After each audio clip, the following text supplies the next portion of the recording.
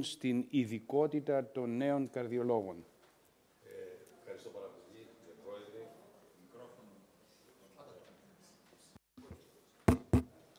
Ευχαριστώ πάρα πολύ. Καταρχήν, ε,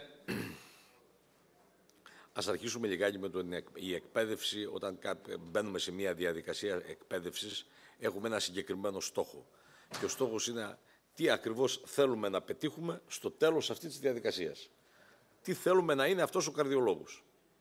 Υπάρχει ένας γενικός ορισμός του καρδιολόγου που λέει ότι είναι ο γιατρός ο οποίος ασχολείται με ανθρώπους οι οποίοι πάσχουν από καρδιαγγειακά νοσήματα και η, αυτή η ενασχόλησή του ξεκινάει από την πρόληψη, τη διάγνωση και καταλήγει στη θεραπεία αυτών των, των προβλημάτων. Υπάρχουν όμως ορισμένα προβλήματα. Και τα προβλήματα είναι ότι ο καρδιολόγος δεν μπορεί να είναι ο υπερηδικός για κάθε είδος προβλήματος του καρδιαγγειακού συστήματος. Αυτό το βλέπουμε, έτσι ασκείται η, η, η πρακτική μας σήμερα.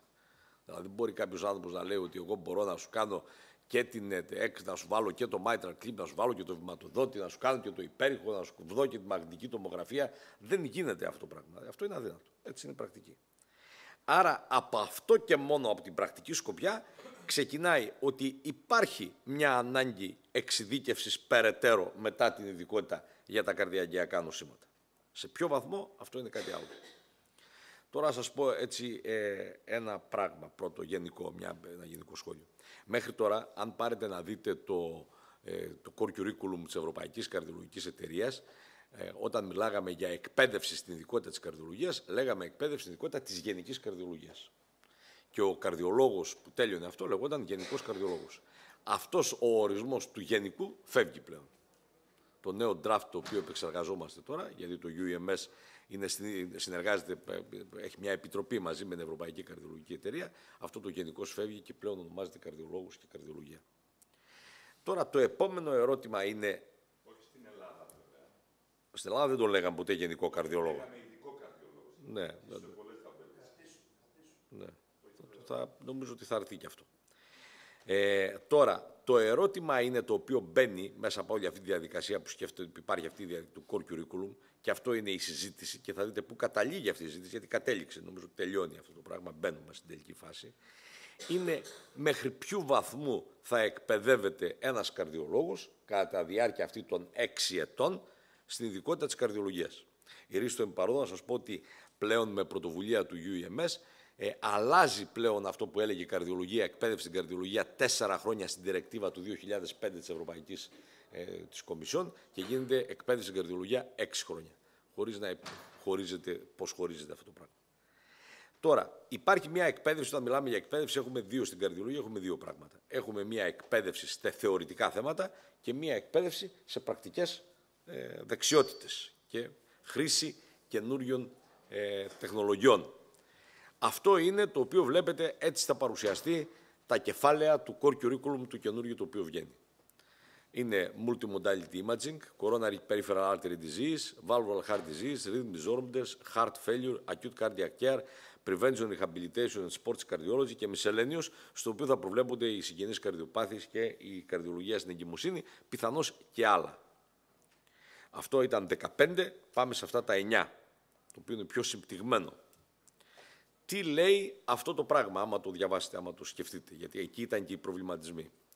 Ότι το multimodality imaging μπαίνει στην εκπαίδευση του ε, γενικού του καρδιολόγου. Ναι, του, ναι, του καρδιολόγου.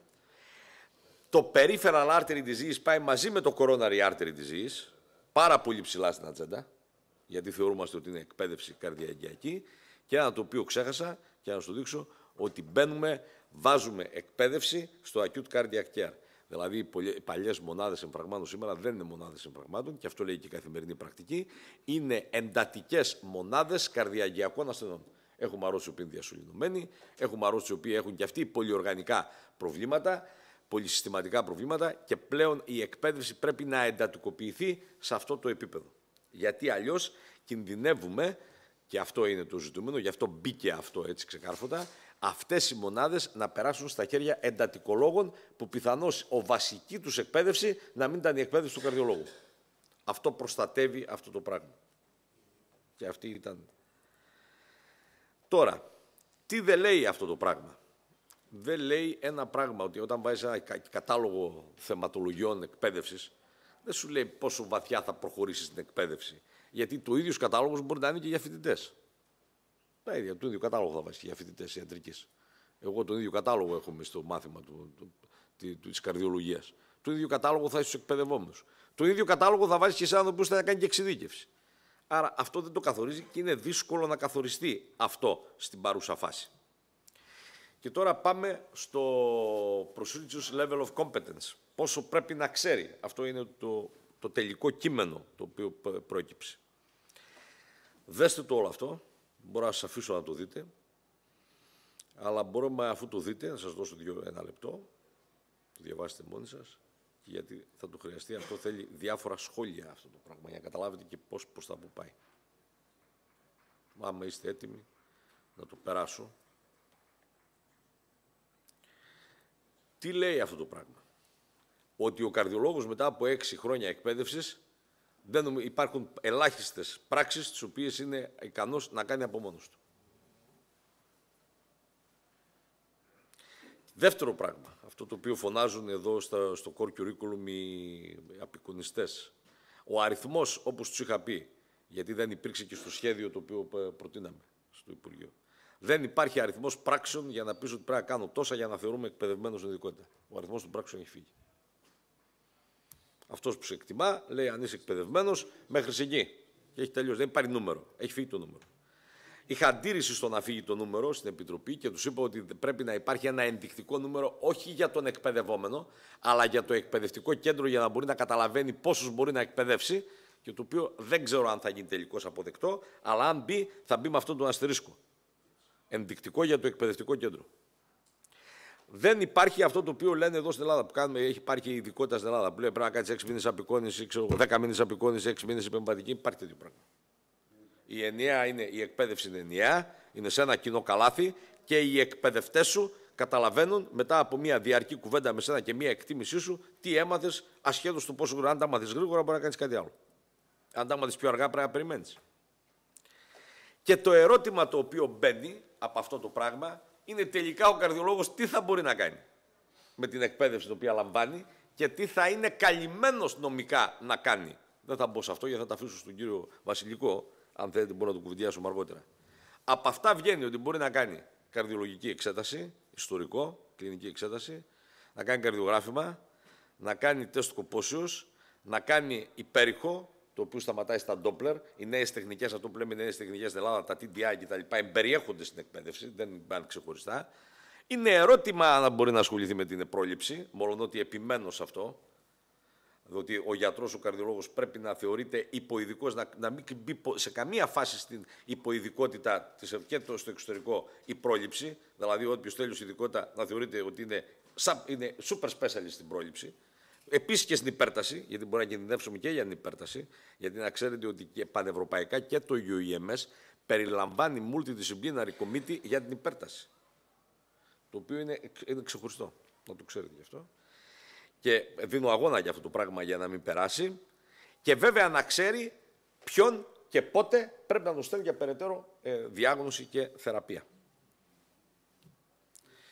Τώρα, Αυτά ήταν. Ε, θα σας πω δύο άλλα πράγματα. Τώρα, πώς θα πρέπει να εκπαιδεύεται ο εκπαιδευόμενος; Αν πάρετε εδώ πέρα ειδικά τους γιατρούς οι οποίοι είναι, ασχολούνται, που είναι διευθυντές ή εργάζονται στα νοσοκομεία, λένε θέλουμε ειδικευόμενους.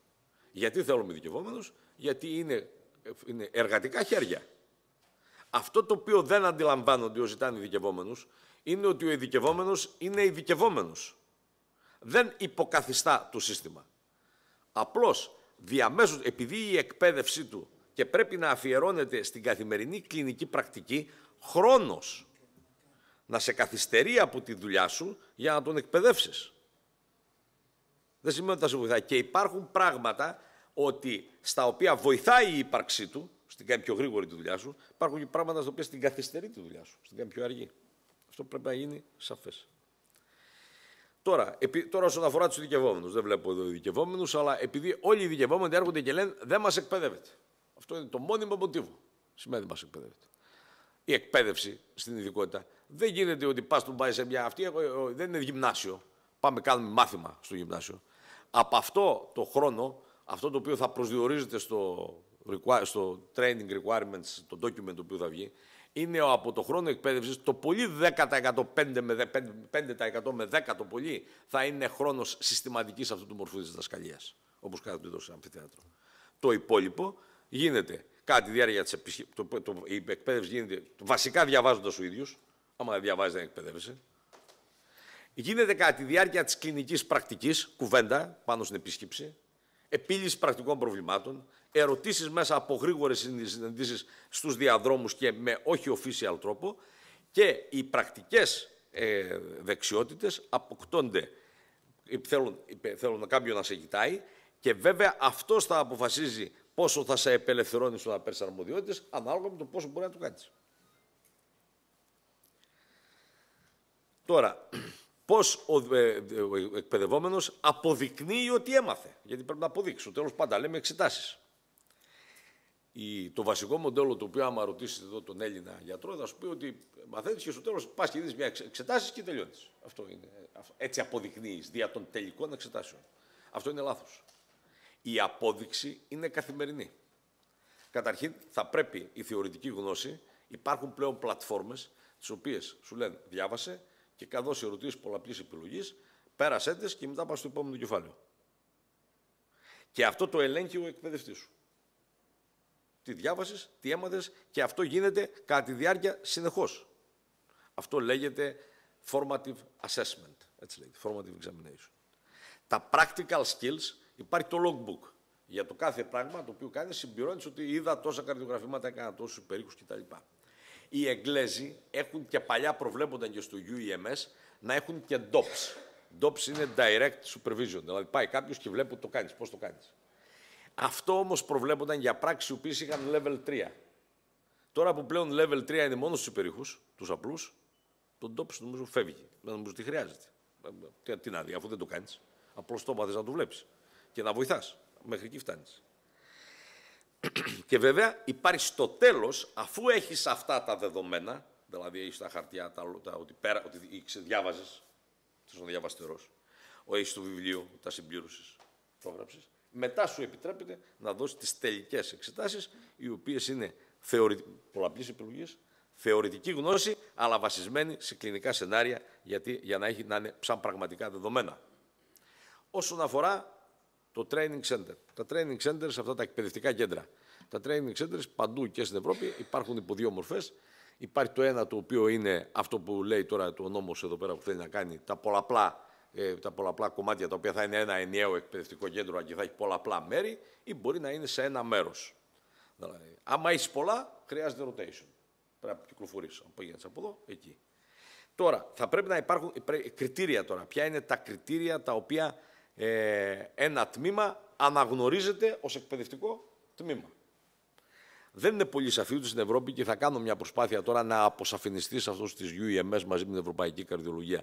Αυτό το οποίο μπορεί να σας πει, περιγράφεται η δομή ότι πρέπει να υπάρχει ένας υπεύθυνος εκπαίδευσης, ότι πρέπει να υπάρχουν εκπαιδευτές, οι οποίοι θα σας πω μετά πώς λειτουργούν αυτοί. Θα πρέπει το τμήμα να κάνει πολλαπλά πράγματα διαφορετικά, να σου, όταν πας είτε σε ένα είτε σε πολλαπλά μέσα του rotation, να, να είναι σίγουρο ότι διαμέσου της κλινικής δουλειάς που κάνουν έχεις εκπαιδευτεί στο σύνολο της καρδιολογίας και να υπάρχει και ένα οργανωμένο πρόγραμμα το οποίο να περιγράφεται. Και βέβαια υπάρχει το revalidation μετά από ένα αριθμό ε, ετών. Τώρα, πώς γίνεται το revalidation; Το revalidation, ε, επειδή εδώ ο νόμος λέει ότι το, το, προβλέπει και λέει να πηγαίνουν τα μέλη της Επιτροπής να το βλέπουν κτλ. Πρέπει να σας πω ότι μόνο σε μία χώρα της Ευρώπης γίνεται έτσι. Είναι πάρα πολύ κοστοβόρο να μπλέξεις και να στείλεις κόσμο να πηγαίνουν να βλέπουν σε κάθε κέντρο τι γίνεται. Μόνο στην Ελβετία γίνεται. Γίνεται κάθε πέντε χρόνια. Υπάρχει μια ανεξάρτητη επιτροπή η οποία το κάνει. Η Αγγλία το είχε, το κατήργησε. Δεν πάνε. Και ουσιαστικά αυτό το οποίο κάνουν μαζεύουν ερωτηματολόγια όπως κάνουμε εμείς τους φοιτητές. Εάν δουν τώρα από τα ερωτηματολόγια ότι έχει προβλήματα, τότε αρχίζει πιθανώς και να πάνε. Ή να καλέσουν αυτούς να τους πούν τι ακριβώς γίνεται εδώ πέρα και τι κάνετε, γιατί ο κόσμος ε, λέει, ε, αναφέρει προβλήματα μέσα από αυτά τα ερωτηματολόγια τα οποία ε, μαζεύονται. Εν πάση περιπτώσει όμως να καταλάβουμε ότι αυτό είναι μια πολύ σοβαρή υπόθεση του Ριβαλίδα. Θέλει πολύ κόσμο. Θέλει γραφειοκρατία, θέλει οργάνωση, Δεν είναι δηλαδή εθελοντική δουλειά απλώς. Τώρα για τους εκπαιδευτές. Σίγουρα υπάρχει ε, αυτό το οποίο ορίζεται είναι ότι υπάρχει κάποιος ο οποίος είναι υπεύθυνος του clinical training για τον καθένα. Μπορεί να έχει και περισσότερους ειδικευόμενους, αλλά ορίζεται ένας ο οποίος είναι συγκεκριμένος. Αυτό πρέπει να βλέπει και τα logbooks αν έχουν συμπληρωθεί. Υπάρχει ένας άνθρωπος ο οποίος είναι υπεύθυνος για την θεωρητική εκπαίδευση και βλέπει αν πέρασαν τις εξετάσεις αυτές που είπαμε, το formative το, το assessment αυτό το οποίο γίνεται. Και βέβαια αυτό το οποίο προβλέπεται είναι ότι θέλει σε τακτά χρονικά διαστήματα ότι πρέπει να μαζεύονται οι εκπαιδευτές και οι εκπαιδευόμενοι να συζητάνε. Να βλέπουν τι τα προβλήματα. Πρέπει να τον παίρνεις έναν προς έναν, να δεις τι έμαθε, τι δεν έμαθε, τι προβλήματα έχει με το logbook, να κάνεις πλήρη κατάλογο των, του τι δεν πήγε καλά. Αυτά πρέπει να κατατίθενται. Αυτό σημαίνει πάρα πολύ δουλειά. Δηλαδή, όποιος θέλει να πάρει δικαιωμένου θα πρέπει να καταλάβει ότι θα πρέπει να αυξηθεί πάρα πολύ το προσωπικό του για να τα βγάλει πέρα. Παρά να, δηλαδή, νομίζω ότι θέλει περισσότερο προσωπικό παρά λιγότερο παίρνοντας δικαιωμένου. Η άποψή μου.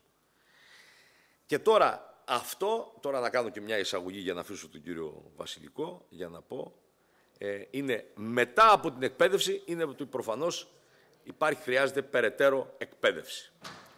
Αυτή τώρα όταν μιλάμε για περαιτέρω εκπαίδευση, να ξέρετε ότι έχουμε δύο πράγματα, ή συνδυασμούς ή και τα δύο. Το ένα είναι να μπορεί να πρέπει να κάνεις εξειδικευσή, αυτό που λέγεται σπες, μπορεί να είναι τέτοιο πράγμα. Μπορεί να είναι μετεκπαίδευση, ας βάλουμε έναν όρο το retraining στα αγγλικά, δεν ξέρω δεν είναι ο καλύτερο όρος, αυτόν βρήκα έτσι τώρα που το σκεφτόμουν. Μπορεί να είναι και τα δυο ή μπορεί να είναι ή το ένα ή το άλλο. Αλλά αυτό θέλει περαιτέρω συζήτηση θα πρέπει να επικεντρωθούμε ποια είναι τα topics τα οποία θα πρέπει να περαιτέρω εκπαιδευτεί, γιατί σας είπα σε τι εκπαιδεύει ο καρδιολόγος. Σίγουρα είναι η υπερμπαντική καρδιολογία και στεφανιογραφία. Σίγουρα είναι η ηλεκτροφυσιολογία και η τοποθέτηση συσκευών.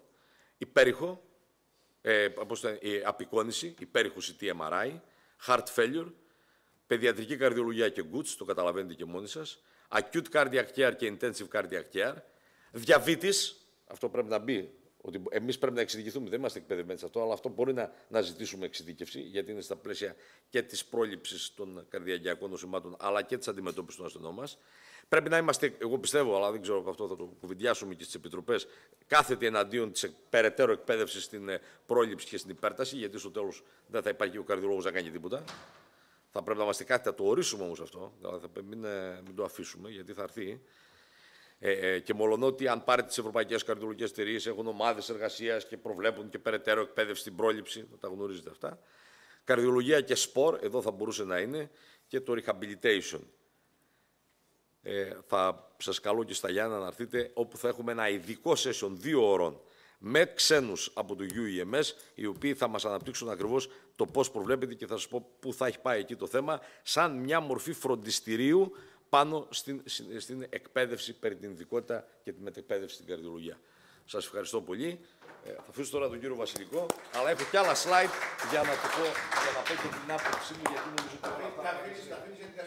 Ευχαριστούμε πολύ τον καθηγητή κύριο Μιχάλη και να καλέσω